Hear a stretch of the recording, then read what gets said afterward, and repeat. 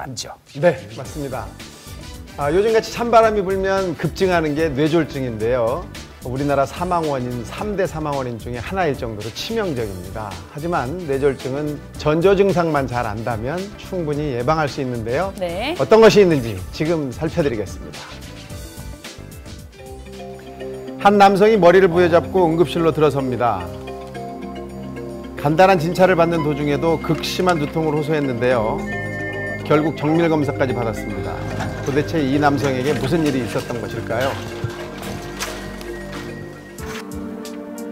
정작 14시간에 걸친 대수술 후 현재 병원에서 입원 치료를 받고 있었습니다. 그 감기 몸살 온 것처럼 열나고 춥고 그러면서 약간 구토 증세도 있고 뭐 아픈 것 같기도 하고 무슨 또 뭐 열이 열이 나는 것 같기도 하고 그렇더라고요. 응급실을 찾기 며칠 전부터 심한 두통에 시달렸다고 하는데요. 단순한 감기 증세인 줄 알고 감기약을 먹었다고 합니다.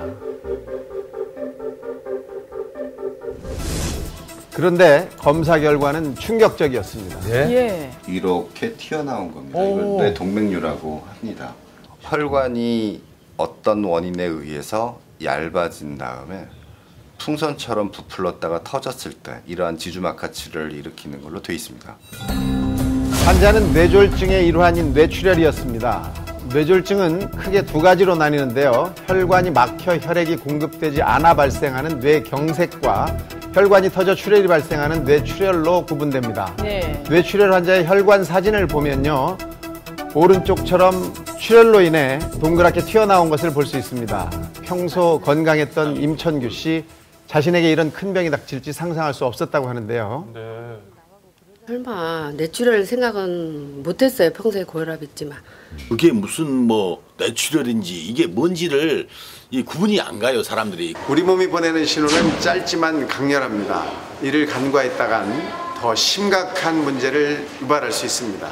지금부터 저와 함께 뇌졸중의 증상을 알아보도록 하시죠.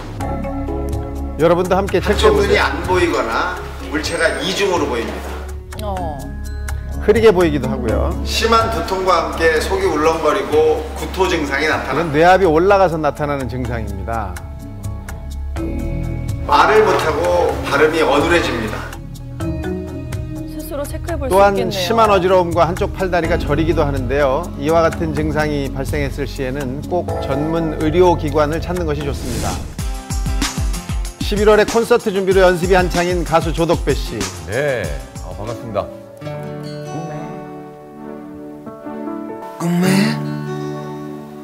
어제 꿈에 보았던 이름을 너를 나는 못 잊어 본 적도 없고 이름도 못 2009년 갑자기 찾아온 뇌졸중. 힘든 투병 생활을 극복하고 다시 힘든 어, 음악 활동을 재개했는데요. 네. 뇌졸중을 겪은 것을 터닝 포인트로 삼아 제2의 인생을 살고 있다고 합니다. 네. 그런 그가 저를 찾아왔더라고요. 참 반가웠습니다. 예. 훌륭한 수준이십니다. 예. 오. 상태는 아주 좋아요. 아주 뭐 좋은 상태. 혈압도 좋으시고. 예, 그랬어요. 뇌, 뇌출혈이 여기가 터졌더라고요. 쑥 올라오더라고요. 그 전에 발음이 약간 안 되더라고요. 아, 입이. 예, 그래서 전 피곤해서 그런가 그래서 노래하러 가, 가는 도중에 이제 병원으로 빨리 가서 빨리 가셨구나. 예, 그때는 말도 못했어요. 말이 안 되죠, 뭐. 네. 근데 내가 처음 보자마자 뭐랬냐면 난 노래할 수 있냐고. 그 소리가 먼저 나와요. 예, 예, 그걸 본능적으로. 그가 다시 노래를 할 수 있었던 것은 신속한 병원 방문과 끊임없는 재활 치료 덕분이었는데요.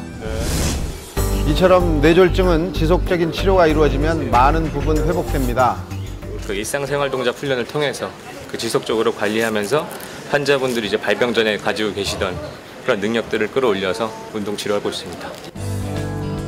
중증 질환은 본인뿐만 아니라 가족도 힘들기는 마찬가지인데요. 이제는 국가에서도 이런 부담을 덜어주고 있습니다. 불편하신 어르신들을 위해서요.